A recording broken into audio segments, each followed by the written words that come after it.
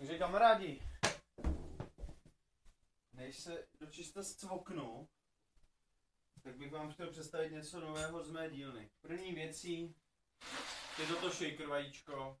Asi to je všechno takový rozstříděný. Tady jsou plasty, tady jsou těstoviny, tady je sklo.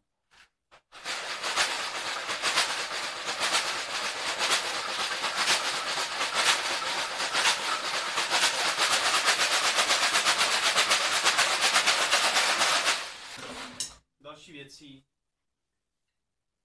kterou jsem si dnes odpoledne vyrobil, je tato unikátní bicí souprava matony. Skládá se z basového bubnu, flortomu a rytmického bubnu. Myslím si, že nejlepší způsob, jak předvést, jak souprava hraje, je v nějaké krásné písničce. Není krásnější písnička než nahraná písnička tady do kláves názvem Take Me On.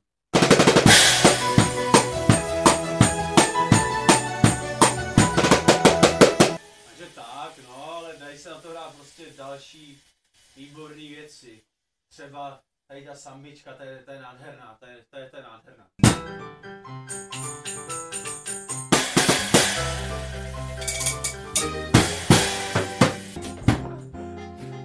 No,